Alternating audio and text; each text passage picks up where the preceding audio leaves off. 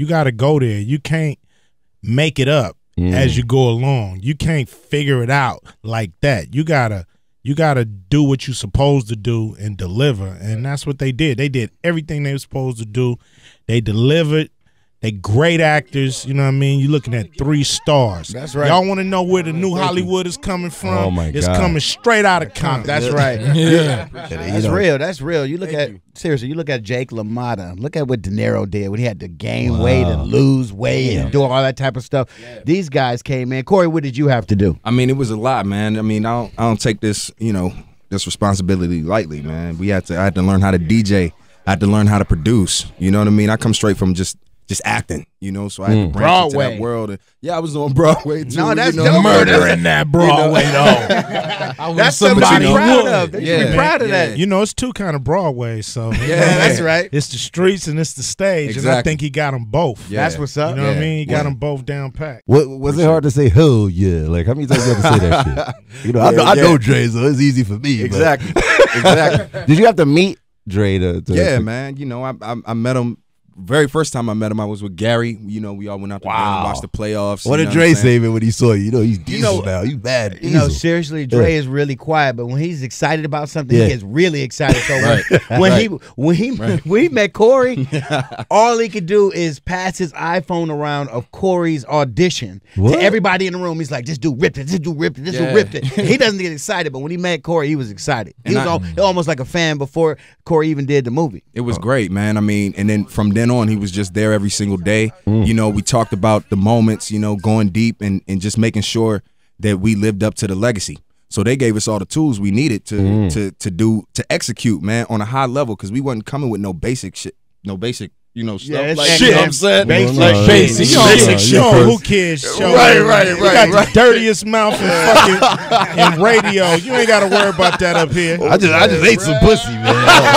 That's right. Bro, I just Yeah. ate some fucking ass. That's man. right. tonight. Pass that man an Altoid. Coming straight out of ass. Let's get out of that. Uh, well, yo, Really though. Shaq spit out an ass. really though. But but but rumors has it, uh, Dre was like you. He he he, he put you in charge. I remember you used to come on my show. You you always brought up the NWA rumors about creating a movie, but Dre was like, you got to get Gary to get down, and you have to like force the issue to get it popping. Was it you? You're the catalyst, or or who who, who put it together before Dre signed off?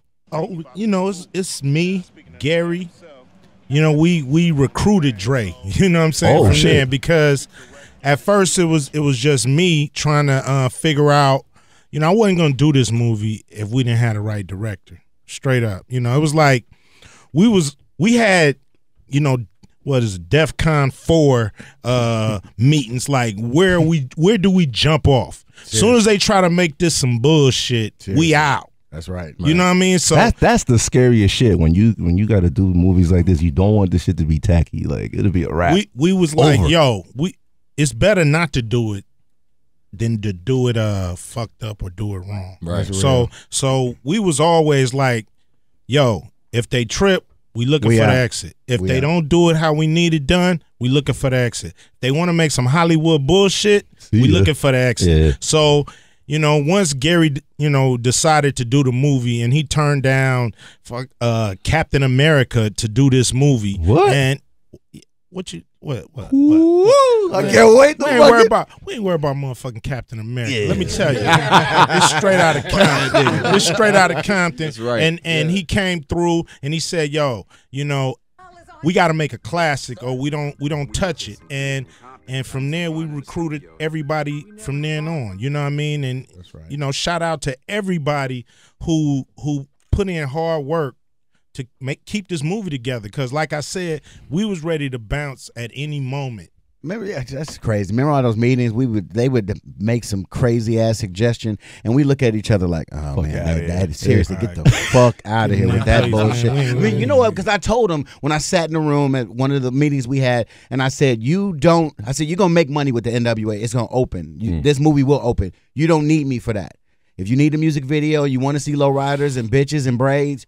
You're gonna make money on that, but you don't need me to direct that. I want to direct what I think it is, which is history, hip hop history, American history, and the story behind the story behind the story, which is the why. A brotherhood too. That's right, and that's the heart. This movie has a lot of heart, and Cube saw it, and we got great creative chemistry from all the way dating back to Friday, and today was a good day. So we already knew what we wanted to make. We just had to show them what we wanted to make, and you know, and they you- was on board. You know what I mean? That's why I'm I'm so thankful to uh, Universal Pictures, uh, Donna, Donna Langley. Langley. You know what I mean? they, they My give you, man, they give you all the you know, uh, Scott Scott Bernstein. Yeah. You know what I'm saying?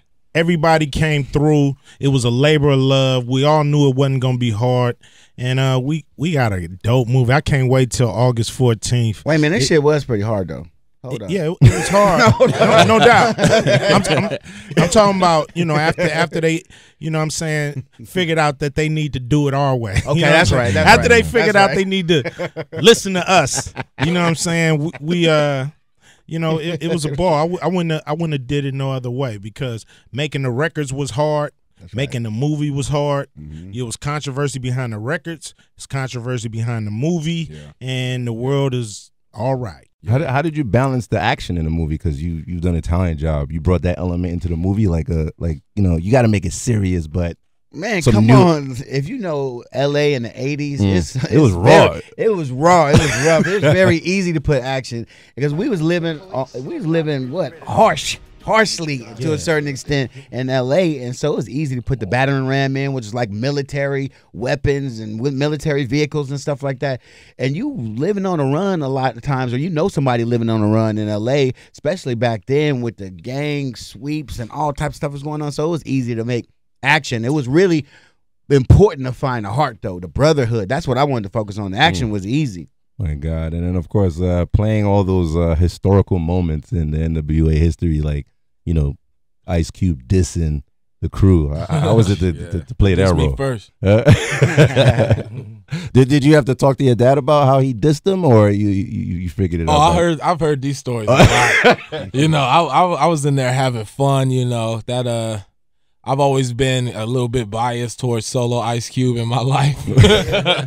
but you know, uh, uh, to go back and to reenact these, man, is is crazy to see his face, to see Dre's face, and, and, and the four of them, Dre, Ren, Yella, and my pops watching us perform.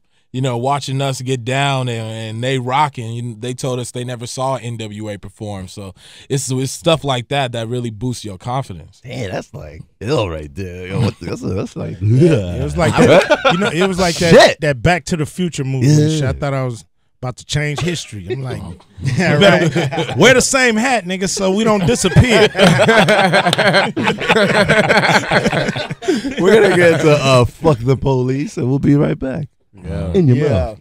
Phone lines are super hot. Eminem's channel, Shade 45. Of course, I got Ice Cube, the whole crew up here. And of course, Gary Gray. Yeah, yeah. The, the, Yo, yo, the, yo, the, the legend money taker. Of course, you know. How much are y'all making off this shit, man? Oh, man, get out of pockets, man. Why you on our pocket? Let's get What's up World? Star real on. quick. Now, okay. A zillion, All right, all right. quadrillion, fulfillion. They, uh, they, they, was it easy for them to give you all the resources to do the movie? Like, you know, It's like. n- eh, listen, it's never easy. It is Okay. absolutely never easy to get exactly what you want. But I gotta tell you, we're gonna give another shout out to Mm-hmm. Donna Langley because she was the one that stepped up and made this movie like it was supposed to be made and then some. You know, people have their conception or whatever of what a urban or movie that stars black people should be, and she stepped up and went beyond, had faith in us, and it shows on the screen. People consider it an epic, and um, maybe not every studio would have made it like that. You got uh, you, you got the you got Snoop in the movie. yeah. You got fucking uh, you got fucking uh, Tupac. Tupac, DOC. You got all the like, Diggy diggy doc. Yes. yo, man. What, yo? How is it the fucking? Because I, you know, uh, your boy was up here, Nipsey Hussle. He really wanted to be Snoop, man. No, he didn't. Yo, he was bothering me about that shit, man. Man, come on. What-. I, got, I got a story about that. Nip is the homie. Go ahead. Nip is the homie, but you know, I'm not gonna even get into it. I gotta call Nip. If he, if he came up here, he said he wanted to play Snoop. I called him. No, you did. I called it. I called Nip, but I'm gonna let him tell that story. All right. No, uh, you know what? I respected him. He said, "Listen." I think he said something like, "Listen, people gonna think if I this is this is a couple years ago. He was like, people may think that I'm a fake Snoop if I play Snoop before my album comes out." Yeah, yeah. You he did. what I He did say that, but you Yeah, know, that's- but, that's but, what he was but saying. back there somewhere, I He could have. He could have. I think he would have did. I mean, I think Keith Stanfield did a great job. I think that Nip is super. You know, he knows what it is. He just he he just got integrity. He's like, listen, if I play Snoop Dogg in a movie before my album comes out, people gonna say, oh, that's that actor that plays Snoop. Now he trying to rap. I, I can respect that. Right. I I can respect respect that. that. You know what I mean? Strategize. Do, man. do- do you think Straight Outta Compton came out at the right time with all the police brutality, all the fucked up shit going on out there? People, these cops are killing everybody. Do you think that's at the right moment, or I mean, you know, it's a constant. It don't stop. So if it had came out last year, it'd have been on time. If I mean, it we came out the year before that, we learned came out from on time. Dirty Cops from watching like everything you guys done. Like, I mean, there were Dirty Yeah. Cops in New York, but damn, L.A. had the real Dirty Cops. man. Hey man, it's rough, L.A. You know they they you know was militarizing the police back in the seventies in L.A. so you know what I mean we know about them and we know how they get down. But yeah, this movie is uh you know showing what's what's been going on, what we've been talking about, what hasn't stopped. You know, you know it's like people think oh Rodney King and then you know fast forward to Trayvon Martin. Nah, it's it's everything in between. You know what I mean and Eric Gardner and all that. It's it's so many other cases that we don't see. It's cases happening right now that somebody don't have a video camera. Right. Somebody don't have a smartphone, you know, so it's a constant thing uh with, you know, police just, you know, showing they authority, abusing the people and, you know, it got to stop. You know, we got to hold these dudes accountable. I gotta tell you, I'm optimistic though.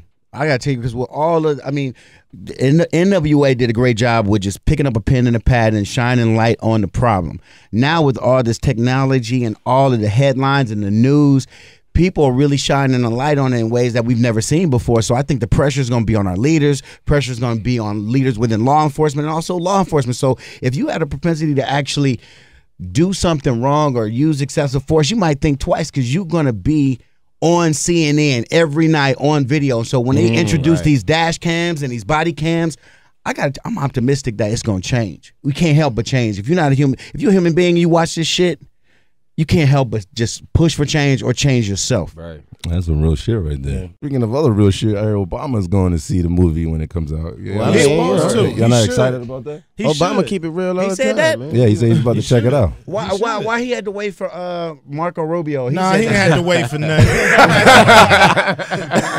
the man busy. Marco Rubio ain't doing shit. so Good point, good You know point, what I mean? good the point. man got. St- I knew he was gonna see it, no matter what. He didn't have to tell me he was gonna see it. I already knew. And where I you gonna watch it at? In the White House? 'Cause screening We're gonna be at at the the Baldwin Hills Theater. Oh, man, on I'm Canal kidding. Street. Yeah.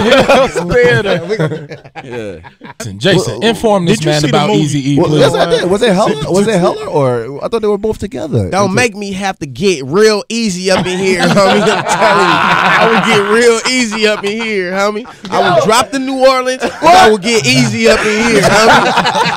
For real. I got a fuck. I got a couple phone numbers I could call right now. No, that's crazy right there. Nah, nah, nah, nah, nah. But um, Nah, but but they, they, they, they did showcase all the like you know. yeah, they showed they showed with hella- everything. They Yeah. showed but it. you They got- showed everything. You got to understand this though. Listen, these guys were young. Mm. Q wrote these songs when he was a teenager. These guys started a record company as kids. So all of the dealings and the, all the, the shit that went on with the record shit is really, you know, people, you know, after you experience Bad Boy and Death Row and Cash Money Records, you think that everybody knows how to run a record company. These guys, besides Berry Gordy, Yeah, Luke was Skywalker. and fucking they was mm. learning how to do this and they were kids so you know shit got mixed up and twisted up and of course there's a couple of other people involved that kind of divided and conquered you know what happened so i wouldn't call Eazy a dirtbag i said he was Nah, learning I, I don't mean it like a real dirtbag. I mean by reading all Shots the. fired, man. I don't mean it like that.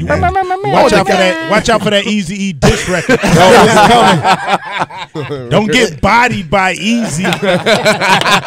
you see all the ghostwriting st- stuff going on right these days, man. You you were the original uh, ghostwriter, man. You made these guys millions, man. Man, you know they made money. You know it was it was uh some ghost writing, but you know when it come to records, when it come to making records, ghost writing has been since the beginning of time. Every record made, damn near has somebody else writing it or or penning it. So it ain't about how you make a record.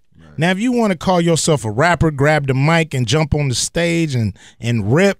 You know what I mean? You you should probably write your own shit. You know mm. what I'm saying? You know what I mean? you know, it's like so if you want to be an MC, you should write your own shit.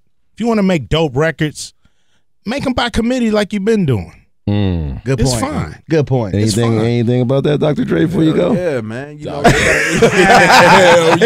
yeah. yeah. Watch out for Compton. yeah, man. You gotta you gotta write from what you know, man, and that's what they did back then, and that's what that's you know that's why this movie's relevant now, man, because.